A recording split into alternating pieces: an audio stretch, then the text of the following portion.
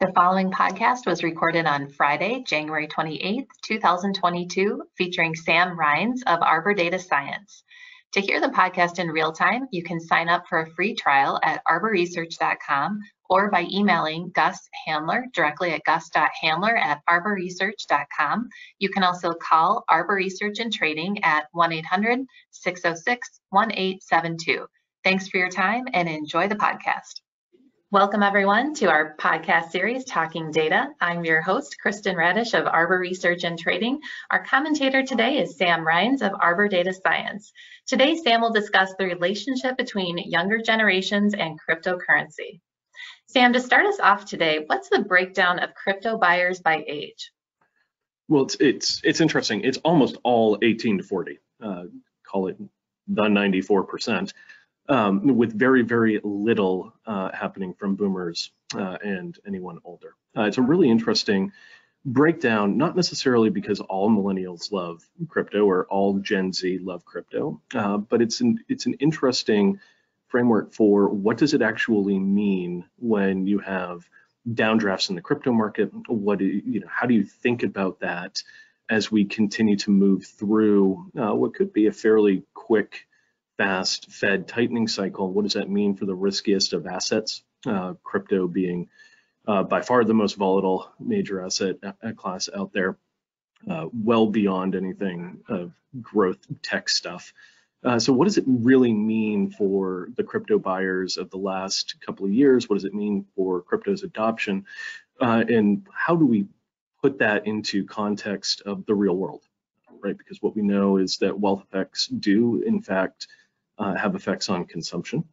Uh, and consumption for millennials and Gen Z is an increasingly important part of the US economy uh, going forward. So I think it's really interesting to dig a little bit deeper and at least have in the back of our minds, well, you know, a lot of us quote unquote uh, real uh, investment people like to really kind of get a little happy when crypto goes down, uh, that it can have real spillover effects and it can have uh, lingering uh, effects on the global economy uh, in the US specifically. And can we take a look at a couple of the charts you have here to show us? Hmm. This is one of my favorite ones because it shows two things. One, it shows that millennials are generally more comfortable uh, than the rest of uh, the age populations uh, with digital assets and cryptocurrency in general. But it shows, but it also shows the very important uh, point that not all are comfortable right? There's, you know, there's the call it breakdown of nearly half and half, right? Half are really embracing it or are comfortable with it, uh, and the other half are not. Uh, so while it is something that uh, millennials are generally more comfortable with than other age groups, it, it's not all millennials. Uh, so I think that's a really important part to keep um, to keep in context, uh, particularly in light of the next slide. And this is one of the slides that I, I think is worth spending quite a bit of time on is that while crypto isn't adopted by all millennials or all Gen Z, uh, the uh, buyer tends to be more indebted than the rest of the population. Uh, if you look at credit card and student loan debt, th those are very high numbers relative to the average US household. Uh, and remember, this is only crypto buyers. So crypto buyers tend to be more indebted uh, than the average American, uh, which means that when crypto goes down, you get a much more significant wealth effect potentially uh, than you would otherwise, right? The get out of debt quick card uh, begins to dissipate and you still have credit card debt, you still have student loans, you still have auto debt, personal loans, et cetera. Um, that spirals into less consumption very, very quickly. Uh, if you have a, a $45,000 auto loan and your crypto goes down 50%, you're highly unlikely to either go out and buy a new car, uh, you're highly unlikely to call it rent a bigger apartment, um, buy a couch, et cetera. So you can have a much more significant negative wealth effect from a decline in crypto uh, among those that are most likely to buy it. Uh, so I think that that is an that is a really intriguing uh, data point. Uh, Gen Z is not quite as bad as millennials yet, uh, but they do tend to have more auto loans and credit card debt than the average American household. Uh, but Gen Z hasn't necessarily racked up the student loan debt of the millennial generation yet. Uh, so it's probably still going to be somewhat of a wealth effect for Gen Z, but it's much more acute uh, within the millennial generation. Which and can you can you expand on the potential spillover effects as it uh, impacts the whole economy? Sure. If you jump two slides down, and I think this is this this chart is also one of the more interesting ones. Crypto really didn't matter uh, two years ago uh, for people uh, wanting to buy a home, for instance. Uh, in the fourth quarter of 2021, uh, according to the Redfin survey, about 12% uh, use crypto for a down payment of their first home. Now, that's a pretty that's a pretty big number. it's not huge, right? It's not 50%, it's not 60, it's not 70. That would be that would be much worse. But it is something that shows that the spillover effect can be real. Right? If all of a sudden you no longer have enough of a down payment because crypto has declined, you're not going to that 12% is not going to be able to uh, continue uh, with their purchase of a home. Um, and if it's 12% for a down payment on a home, it's probably similar numbers for down payment for a new car or buying a new vehicle, um, being able to buy that additional couch or television, right? It's a consumptive decline and a negative wealth effect that could spiral into the overall economy. It's it's worth remembering millennials were just beginning to come out of the basement um, and begin to get married, begin to have kids, begin to buy homes, cars, etc uh, beginning to look a lot more like Gen X, beginning to look a lot more like boomers.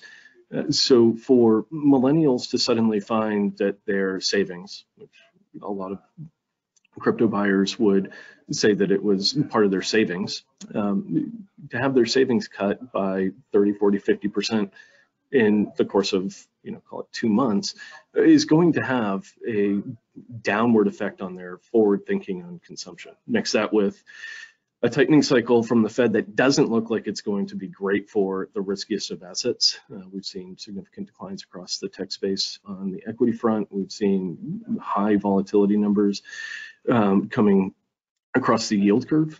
Um, it's the Fed's not likely to be a friend of crypto or a uh, friend of call it the tail risk of the market um, going forward. That combined with inflation is going to be a significant deterrent uh, to uh, millennials going out uh, and spending their crypto gains, which are quickly evaporating, uh, on anything like they could have a year ago. That that is something very similar to what we saw in 2000, 2001 with the tech wreck uh, for people who had significant overweight there. Right? It, it was a huge problem uh, for their consumption over the next several years because you had a significant amount of savings evaporated uh, in a pretty meaningful way.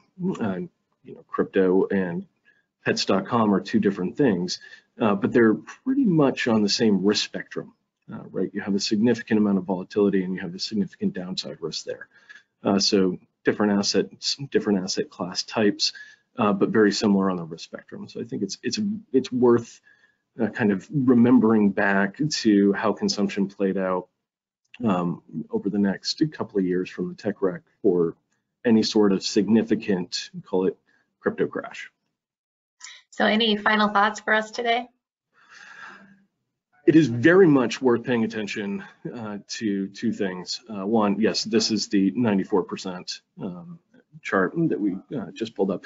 It's worth paying attention to how the 94% react here how does millennial and Gen Z consumption evolve over the course of the beginning of 2022? Uh, 2022 is going to be an interesting study on what happens um, for consumption when you begin to have significant market volatility uh, that many haven't seen, frankly. Uh, so that's one of the things I'll be watching. I'll be watching it very closely whether or not you begin to have more and more individuals come back into the labor force um, because of crypto holdings falling or because of more volatility in the crypto space?